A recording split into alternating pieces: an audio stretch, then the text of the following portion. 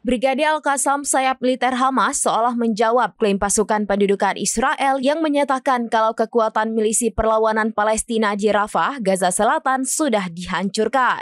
Jawaban Al-Qassam itu tergambar dari pengumuman yang dikeluarkan IDF pada Rabu 18 September 2024 yang menyatakan tewasnya empat tentara IDF dan beberapa lainnya luka parah selama pertempuran dengan perlawanan Palestina di jalur Gaza Selatan.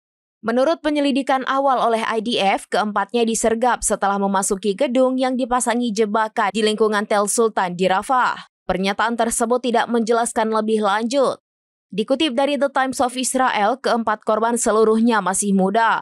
Mereka ialah Kapten Daniel Mimontoaf, 23 tahun, Wakil Komandan Kompi di Batalion Syaket Brigade Gifati dari Morshed. Selanjutnya ada Sersan Staf Agam Naim 20 tahun, seorang paramedis dari Brigade Lapis Baja ke-401 dari Batalion ke-52 dari Mishmarot. Naim menjadi tentara wanita pertama yang tewas dalam serangan darat IDF terhadap Hamas.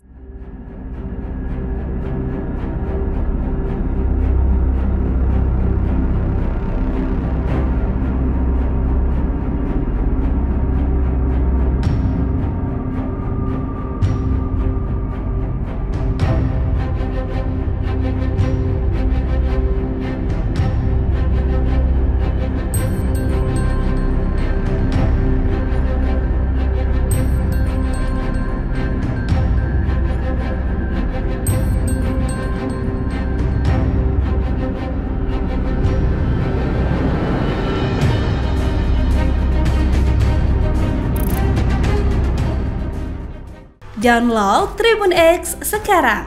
Menghadirkan lokal menjadi Indonesia.